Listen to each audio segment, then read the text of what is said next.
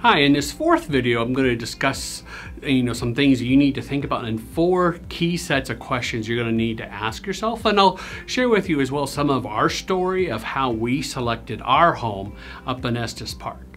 So I'm assuming at this point in time, you've decided on which town or city you want to buy your vacation home in. Now the next thing you got to go, okay, where? In town or near town do you want to buy? Do you want to buy right near downtown or near the slopes?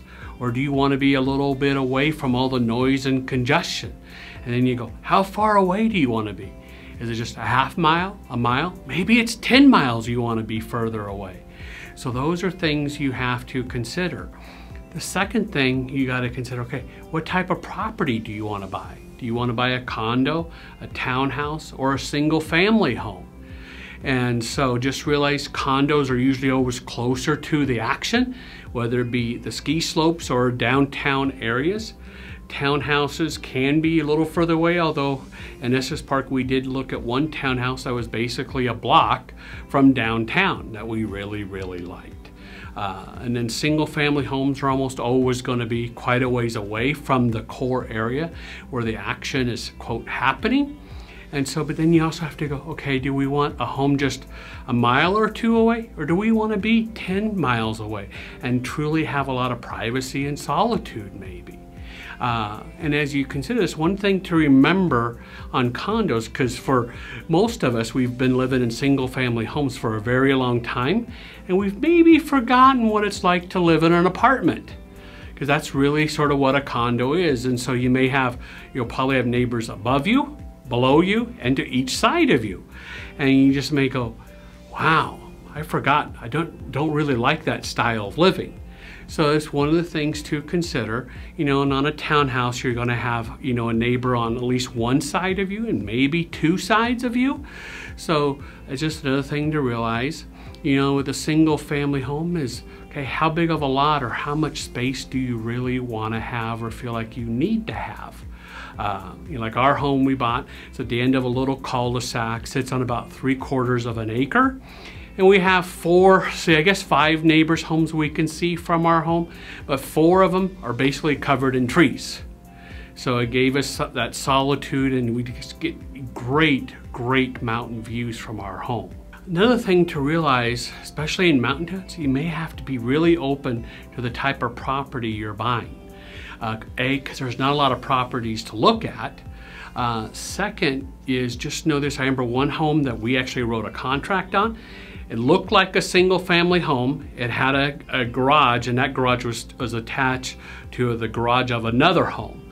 So it lived like a single family home, but legally was a condo. And if we had excluded condos from our search list, we never would have seen it. So you have to be really open in your searches because you may find a gem. A third question you got to ask yourself is, are you going to work from your vacation home? Millions of people are now doing that across the country of where they're working from their vacation home, maybe all the time or at least some of the time.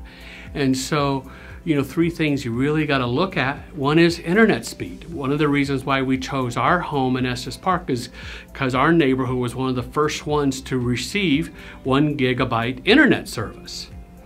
A second thing is cell phone service.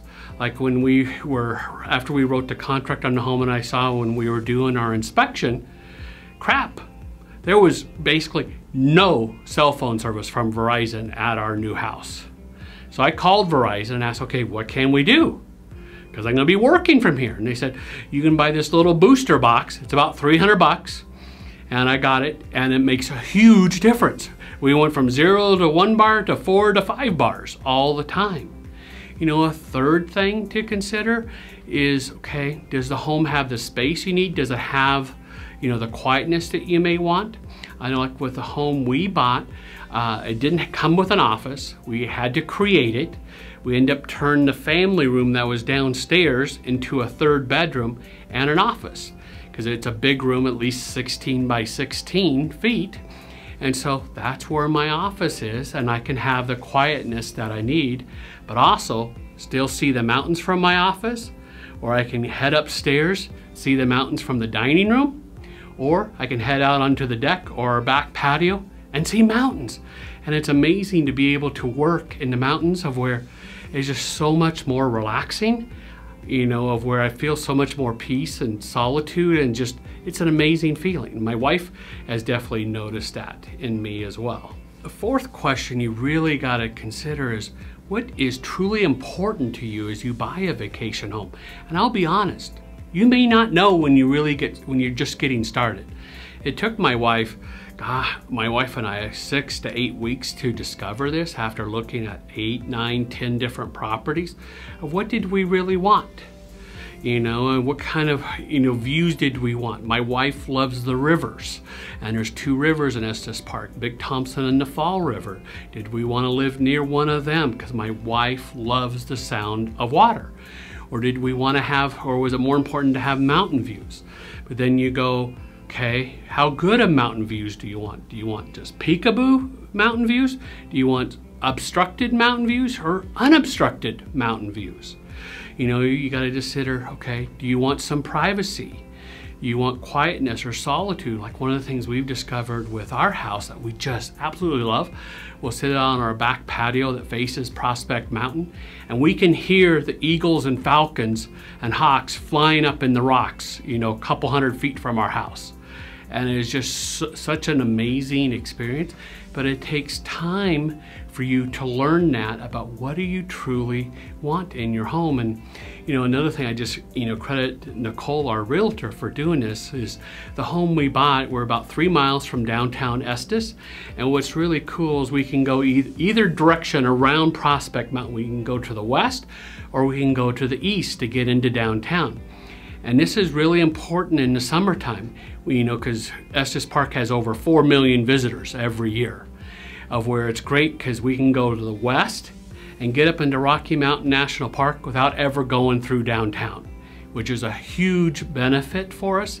And that's one of the, another reason why we love our home and why we bought it. And it just has some incredible views of several different mountains. And so, you know, when I saw the lot and saw the how it sat, it was like, wow, this is the home. There was one major problem though. The house was 31 years old and it looked even older than that inside. It was in desperate need of a gut remodel. And so we had to spend a ton of money to do that because we remodeled, we changed the floor plan of both bathrooms upstairs. We changed the floor plan downstairs where we turned an old dingy office and a family room into a home theater and into a third bedroom and an office for me and we had to upgrade and change and redo all the electrical, all the plumbing, new flooring, new paint, new drywall. I mean, we basically redid everything in this house. And so, so that was, quote, a downside up front, you know, with buying it because it wasn't in the condition that we needed. But we both, my wife and I both said, this is the house for us because we love the views, we love the, the, the some privacy we would have and the quietness and solitude this home would this home would provide as well for us. So it's just going to take time for you to discover what do you really want in your vacation home and just realize it may take some time you know for you to decide and you know you just need to get out and look and I would strongly strongly encourage you to work with a local realtor in that community wherever you're buying because they're going to have so much market knowledge for you that unfortunately a realtor from outside the area just isn't going to have. And that will help you make a much better decisions on where you buy and what you buy when you do buy a vacation home. Uh, and finally, just make sure you're pre-approved with a, a local Colorado lender, you know, like myself, because sometimes lending in the mountains is a little different. Sometimes you'll find homes that have, you know, that are on septic systems and on have a well. And so a lender, you know, who lives in Chicago may not have a flippin' clue of how to help you and how to serve you well. So make sure you have a, a you know, that you're pre-approved with a good local lender who can help you, you know, and guide you around all those things. And you know, having a local lender will ensure that you can make quick decisions because realize the real estate markets up in the in the mountain towns are still very, very strong. And you do have to make a decision quickly and when you write an offer. And so work with someone local And if you have questions or just say, hey Lonnie, I want to talk more, you know, feel free to make a comment below or better yet, just text me. My number is 303 881 6374, and I look forward to talking with you soon.